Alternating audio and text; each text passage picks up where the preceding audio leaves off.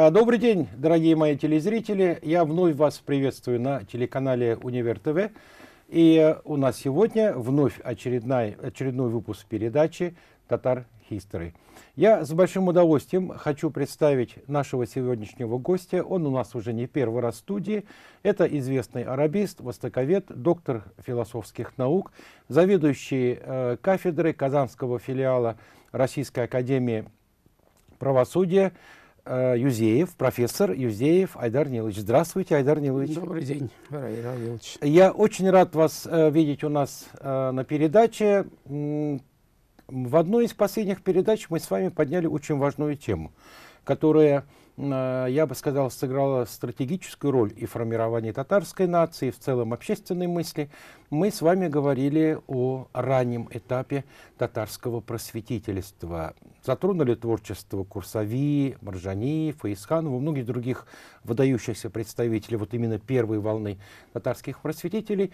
И э, мне бы хотелось сегодня эту тему продолжить и поговорить о, о второй волне татарских просветителей. У меня в связи с этим первый вопрос. Вот что общего между первой волной татарского просветительства и второй? Вот я хочу напомнить, что так называемая первая волна татарского просветительства – это вторая половина XIX века. Самые значительные имена, которые мы с вами и разбирали на прошлой передаче, это Хусаин Фаисхан – Шахабуддин Марджани и Каюм Насыри. Вот эти три столпа э, просветительства. И уже в это время просветительство шло параллельно с религиозным реформаторством. Если в творчестве Марджани религиозное реформаторство и просветительство, они составляли своеобразный синкретизм, а, то в творчестве Файсхана и Насыри – мы можем выделить религиозный этап, не реформаторский, подчеркиваю, а религиозный как первый, и просветительский этап. Вот вторая волна просветительства приходится на конец XIX – начало XX века. Это как бы золотой век э, татарского национального движения, поскольку в связи с царским манифестом 1905 года были разрешены и книгопечатание, и образование различных э, общественных организаций, и все с этим связанное. И вот вторая волна просветительства, так называемая, это прежде всего это Реза Фахардин, а, Муса Беги, и самый зрелый это Габдулла Тукай, да, зрелые просветительства. Это вот три столпа, вот там три столпа, и здесь три столпа просветительства. Вот, Айдар Ильич, у меня в связи с этим вопрос. Я впервые Э, в ваших публикациях, ну, в принципе, я тоже придерживаюсь этой точки зрения, особо хочу это подчеркнуть, но впервые в ваших публикациях, и сегодня впервые публично, было сказано, что Габдулла Тукай принадлежит вот именно ко второй волне, как один из выдающихся представителей татарского просветительства. Раньше об этом мы не писали и не говорили. Да. В чем его вклад в татарское ну, просветительство? Да, он, э, можно сказать, что это зрелый, зрелое просветительство. Если мы говорим о просветительстве второй волны, это творчество Фахридина, это тоже своеобразный, э, вот вы говорили, в чем, чем отличается первая волна от второй. Э, прежде всего, вторая волна – это синкретизм, реформаторско-просветительское направление, да, вот характерно. То есть, вот, допустим, в творчестве Фахреддина реформаторские, э, религиозно-реформаторские взгляды, они переплетаются с просветительскими. Иногда даже, э, если мы смотрим на всю историю, как обычно, э, религиозное реформаторство предшествует просветительству. А здесь, может быть, в творчестве, во взглядах в мировоззрение Фахреддина просветительские взгляды могут выйти на первый план. Э, его э, творчества, иногда, наоборот, религиозный реформаторство. То есть вот э, синкретизм – это вот тогда, когда реформаторские идеи переплетаются с просветительскими.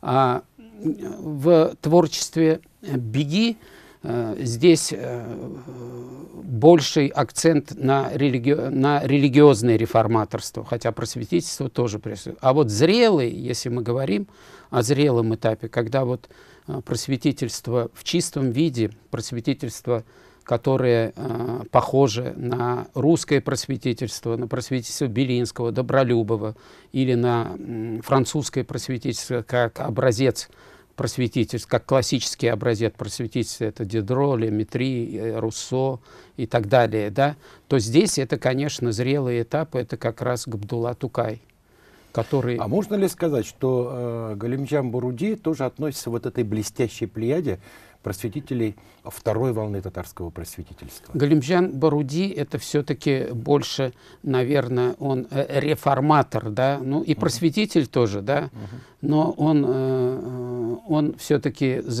он мало занимался э, публицистической деятельностью, то есть научной деятельностью, да, мы почти у него не было образования. Да, у него не было возможности писать, потому что он больше занимался общественной деятельностью. А как общественный деятель, это, конечно, реформатор, реформатор религии. Если бы у него, если бы он прожил большую жизнь, не случилось так, что вот на общественной деятельности он, к сожалению, умер, то я думаю, что это, он бы, конечно, был автором многих просветительских работ, да, которых, к сожалению, мы сейчас не имеем. Просто жизнь его рано прервалась.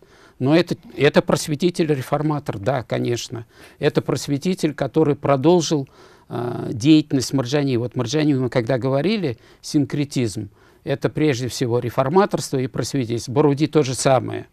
Но ведь э, еще раз всегда обращаюсь к Марджани, считается, что Марджани не оставил учеников, что мало, мало последователей. Но вот с изучением его творчества и последующих, а, последующих мыслителей я вижу, что он оказал вообще исключительное влияние на последующую мысль. Взять Боруди. Боруди был, когда познакомился с ним, когда уже ему было много лет, э, и он его знал, приходил к Маржани, и он, конечно, оказывал на него воздействие, он был на смертном одре, и он был одним из тех, э, кому завещал Маржани заниматься вот наследием своим и так далее, он оказал значительное влияние. Если смотреть на Фахриддина, Фахриддин, прочитав книгу Марджани, Э, Назуру Тельхака, он сначала э, прочитал э, возражение на Назуру Тельхак, а потом прочитал саму Назуру Тельхак, саму книгу Назуру Тельхак, она оказала на него, он очень изумился, очень большое воздействие, и он поехал на встречу с Марджани и он его увидел, они договорились, что он придет к нему на урок, но Марджани отвлекли, и так оказалось, что он потом уже не смог приехать, Фахриддин. И он всегда писал, что Марджани для него это своеобразный светоч тоже. И вот так, если смотреть, и Беги то же самое. Вот я Беги, мы сегодня будем говорить э, о Муса Беги. Казалось бы, никаких связей. У Фахриддин видел – Баруди видел, Беги не видел Марджани. Но если мы возьмем его творчество, то оно находится под сильным влиянием Марджани.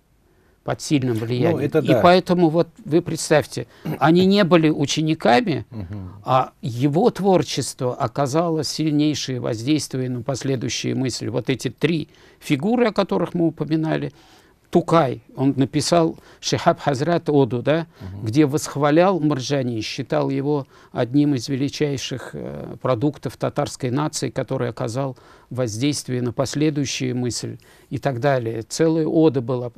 Марджани здесь, конечно, тот столб, на котором э, вот последующее просветительство и реформаторство а, а, опиралось на его наследие, и оно не только опиралось, оно и продолжило наследие. А можно ли сказать, что вот творчество вот этой блестящей плеяды татарских просветителей, реформаторов, mm это ренессанс татарской культуры, ренессанс татарское просветительство конца 19 начала 20 Ну, это века. скорее не ренессанс, а золотая эпоха, я бы сказал. Угу. Золотая эпоха татарской э, общественно-философской мысли. Вообще, вот если мы возьмем общественно -фило... вообще философия, это есть квинтэссенция духовной культуры, об этом Гегель сказал. То есть, uh -huh. если духовный брать, философия это наиболее важнейшая часть, которая сконцентрировала э, в себе все, духовное, все культурное, все, все э, то, что присуще татарской культуре, да. И вот философия с этой точки зрения, если мы берем начало XX века, то она, татарская философ, общественно-философская мысль, занимала одно из ведущих среди тюркских народов и развивалась в нескольких направлениях. Это прежде всего, вот как мы сегодня говорим, это религиозное реформаторство, просветительство. На начале 20 века появилось еще одно направление – либерализм. Да, мы сейчас об этом поговорим чуть попозже. Мне бы хотелось еще э, все-таки уточнить. Да. Вот когда мы говорим э, Галимжан Буруди, э, Ризайтен Фахриддин, когда мы говорим о Габдулла Тыкае, и когда мы подчеркиваем как раз вот очень многокомпонентность их э, творческого наследия и просветительства, и реформаторства. Я хотел бы здесь затронуть еще одну проблему. Это проблема конструирования татарской нации. Мы в прошлой mm-hmm. передаче говорили, что отцом татарской нации э, в этом смысле является э, Марджани. Марджани. Да. Вот насколько новая волна татарских просветителей понимали и осознавали необходимость конструирования новой нации, я э, даже сказал бы политической нации. Вот какую роль здесь сыграли представители татарского просветительства? Да, вот этногенез, мы уже говорили, что Шихаб Хазрат, это вот родоначальник этногенеза татарского народа, да, и он построил свою конструкцию. Это гуны, булгары, татары, мы не должны отказываться от этого. Риза Фахреддин продолжил э, идеи Марджани по этногенезу татарского народа, поскольку Марджани выступал э, за то, что гунны, вот своеобразная цепочка гунны, булгары, там Золотая Орда, татары, то Фахреддин то же самое, то есть э, гуны, булгары, э, вот Золотая Орда и э, татары, казалось бы, но у, у него казалось схожие, схожие, э, схожие концепции с, с Марджани, но э, гуны, булгары, да, а потом он говорит, Марджани же тоже татары, это те, которые, значит, впереди монгольского войска шли там, и наш, э, зря нам дали э, имя татары, хотя э, в научной литературе татары применял только крымским, uh-huh. Марджани, но сам говорил, нельзя отказываться от этнонима татары, потому что он вот считал, что это уже вошло в кровь под татарского народа, да, вот сам этноним. Uh-huh. С этой точки зрения Фахридин, он придерживался этого, но вот э, период э, того, когда татары получили вот это самое название, он э, от него отрекся, он э, татар только приписывал э, монголам, да, монголов, э, когда писал в своих э, произведениях, а сам использовал э, пери, э, булгары, да, гунны булгары и казанские тюрки. То есть вот он э, от этнонима татары, поскольку оно не научным, он считал, как и Марджани. Угу. Но Марджани говорил о том, что мы должны отставить. Этот угу. нет он говорил, что мы казанские тюрки. Но при этом он активно пропагандировал историю Золотой Орды. Его самое, наверное, из известных исторических трудов это ханы Золотой Орды. То есть ну, пропаганда истории Золотой Орды у него стояла достаточно на одном из таких ведущих научных э, приоритетов. Но здесь вот я внимательно, э, насколько мне это было возможным, смотрел э, его публикации, Э, на самом деле у него идентичность непонятна. Он себя и татарином не называл, он себя и башкиром не называл.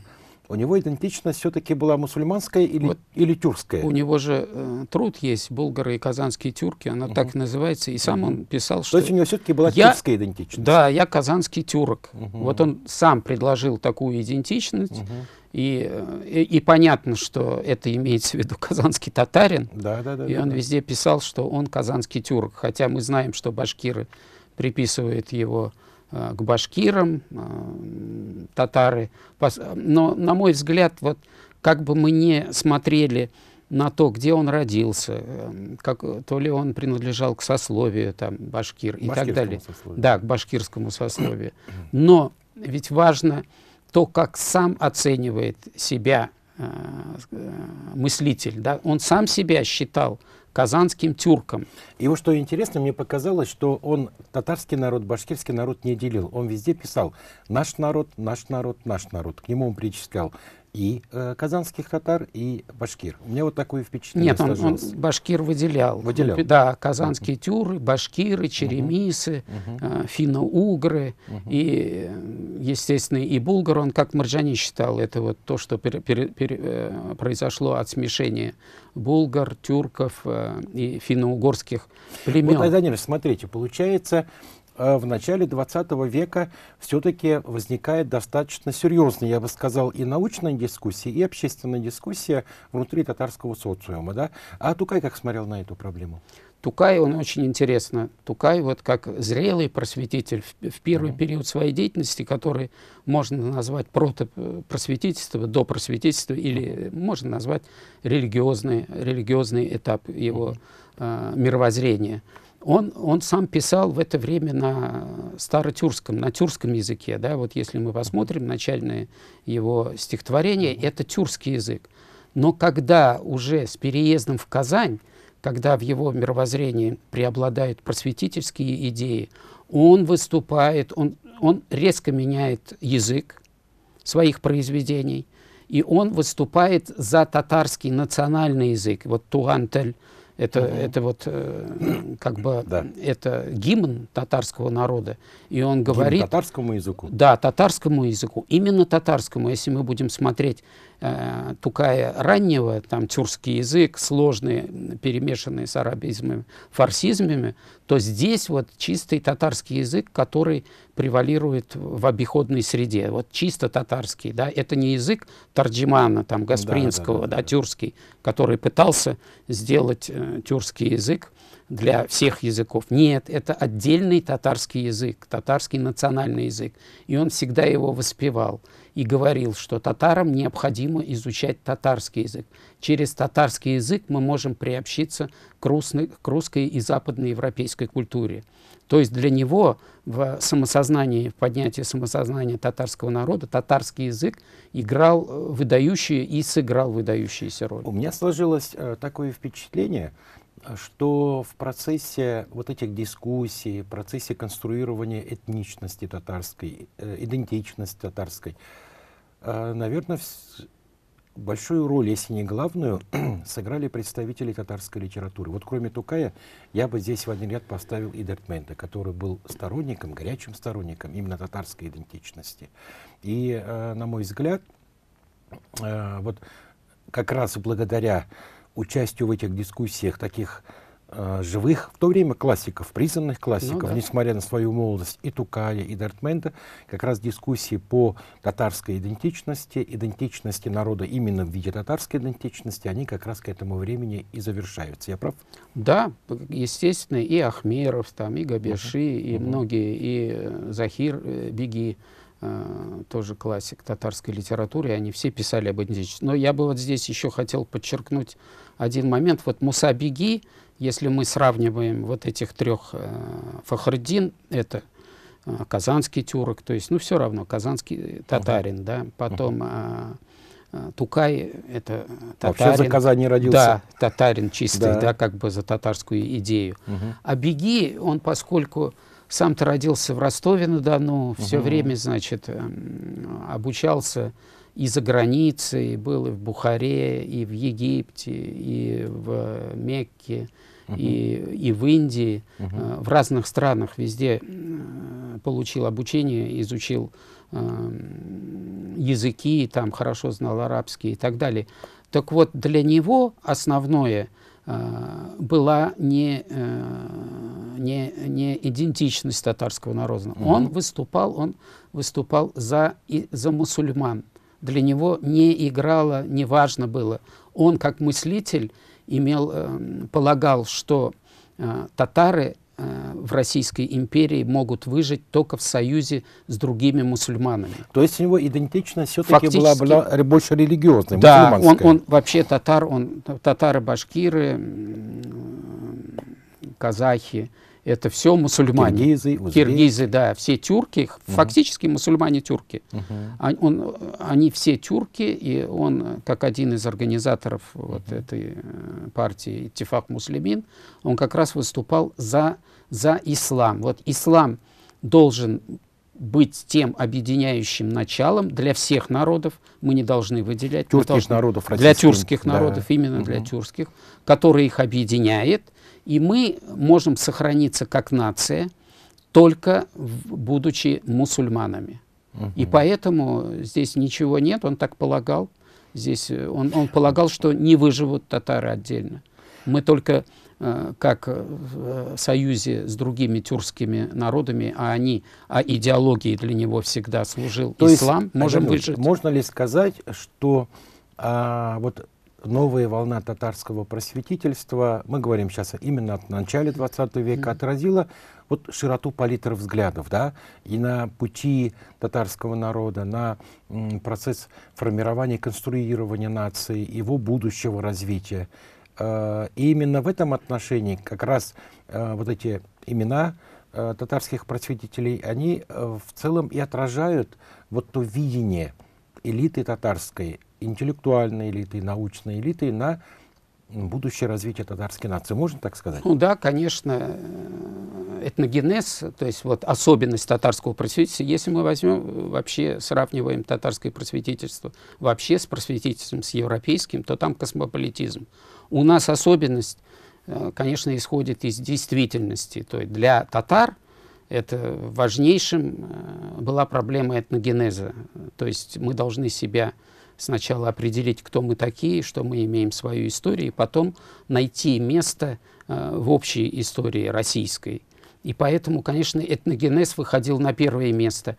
И чтобы вот э, вторая особенность, тоже в отличие от э, европейского и русского, это политическая особенность. То есть мы как можем себя обозначить в Российской империи? Мы можем обозначить себя как политическая нация, мы можем обозначить через, э, через какие-то структуры, да, через мы... общественные организации. Мы должны бороться, мы должны э, за свои права. И поэтому здесь выходит вот политическая особенность татарского просветительства в начале 20 века. Это тоже отличает от э, раннего То есть это уже, по сути, третье направление? Общественно-политическая деятельность Нет, это, да, ну, это не направление, это особенность, да. потому что э, антропоцентризм, гуманизм — это все известные части, которые присущи, а uh-huh. особенность — это вот а, проблема этногенеза и политическая, политическая uh-huh. часть. Это особенность татарского просветительства, да. и с этой точки зрения, конечно, можно говорить о том, и, и, и еще одна особенность. Мы сказали, татарское просветительство, оно синкретизм, оно связано с реформаторством, но также в, в мировоззрении некоторых мыслителей э, вот реформаторско-просветительское направление сочетается с либеральной теологией. Это прежде всего Ильич, вот по э, касается либеральной беги. идеологии, по да. политической деятельности все-таки хотелось бы поговорить отдельно. Хорошо. А в оставшееся время я хотел бы с вами поговорить, немножко отойти от нашей темы, mm-hmm и э, сказать нашим дорогим телезрителям, что Айдар Нилович у нас член Союза писателей Республики Татарстан. Он известен не только как известный ученый, арабист, востоковед, философ, но и блестящий э, автор очень интересных книг. Э, прежде всего, э, это публицистика. Э, у вас есть несколько интересных работ, которые я с большим удовольствием прочитал, на меня особое впечатление произвели вот эти заметки, сирийские заметки. Расскажите, пожалуйста, об этой книге. Как пришла идея написать э, вот эту публицистику, документальную повесть, я бы сказал? Ну да, сирийские заметки — это начало 2000-х годов, когда в Сирии было все еще была мирная жизнь, и я тогда был одним из преподавателей арабского языка в гуманитарном институте. И поскольку э, у нас существовало и э, татарско-арабское общество, и был уже центр Хадара, который возглавлял, возглавлял еменец Мухаммад, Который сегодня успешно который работает сегодня в Казанском федеральном да. университете. И вот он тогда угу. занялся тем, что давал практику студентов, э, которые ехали в одну из стран. Вот угу. летом мне посчастливилось побывать со студентами, которые обучаются арабскому языку в Сирии. И, конечно, было и в течение лета, вот трех месяцев, я наблюдал вот эту сирийскую жизнь. И было интересно увидеть воочию то, о чем э, писали и Марджани, и, и Беги, э, вот эту ближневосточную культуру. И, естественно, естественно, наверное, вот эту сирийские заметки, почему так получилось? Потому что и у татар этот жанр был известен. И, и Марджани писал о, о своих поездках, но он хадж, заметки хаджа Фахридин потом издал, и он писал э, то, как вот э, прошел тот или иной день, начиная от Казани – и кончая потом приездом в Казань, Марджани записки по хаджу. Там, в ассирийских заметках созданы... Ассирийский я тоже пошел по Марджани, угу. и тоже каждый день вот проснулся, мы со студентами пошли туда, мы посетили то-то. Ну, как вот, вот этот жанр заимствовал у Марджани, хотел запечатлеть вот то время, э, те мысли, которые, те оценки этой культуры, которые тогда существовали, и таким образом появилась эта книга. И она, наверное, интересна с точки зрения того, что произошло в Сирии сейчас, потому что там, где мы были, этих городов, а, эти города, многие были разрушены, такие угу. как Алеппо. Мы, наверное, посетили все, что могли, наиболее известные. И, и, к сожалению, так случилось, что вот эта война, она вот разрушила то, что... Но а осталось, как вот в моих записках то, что было, а, то, что мы запечатлели, многие вещи остались. У вас в этих записках созданы очень яркие образы сирийцев. И мне кажется, здесь а, вот при а, написании данной документальной повести на вас повлияло не только творчество Парнажани, но мне показалось и в некоторой степени и творчество великого русского писателя уже 20 века Ташукшина. Я прав? Я даже не думал об этом. Мне вот так показалось. Я не думал. Я Шукшин же, он все-таки художественный, он, он, он, он писатель, я угу. больше публицист. Здесь разница Но вот именно есть. создание я образов, они как-то вот не претендую не на, на писательство, я на публицистику. Это да, публи, как публицист, да я под влиянием э, Маджани, конечно, писал. Uh -huh. И потом этот жанр, он нам присущ, и uh -huh. э, заметки, путевые заметки, начиная со средних веков. Но приятно то, что вот э, осталось э, запечатленное на бумаге то, что уже никогда не возвратится. Это Пальмира, то, что мы видели, и то, что случилось после завоевания, разрушения полнейшие Пальмиры – я описывал памятники, как они выглядели тогда. Мы это, конечно, и снимали. И, да. и это, к сожалению, ушло в небытие. Айдар Нилович, к сожалению, время нашей передачи уже истекло. Э, время прилетело очень незаметно. Огромное вам спасибо за очень интересную содержательную беседу. Я верю, что это наша с вами не последняя встреча. Нам есть еще много о чем поговорить и о джадидизме, о татарском либерализме, политической деятельности в начале XX века, о вашей литературной деятельности. На этом, дорогие слушатели, телезрители, мы заканчиваем сегодняшнюю нашу передачу. У нас сегодня в гостях был известный татарский арабист, востоковед, заведующий кафедрой гуманитарных э, наук э, Казанского филиала Российской Академии Правосудия, доктор философских наук, профессор Юзеев Айдар Нилович. До свидания. Спасибо за внимание. Было очень приятно.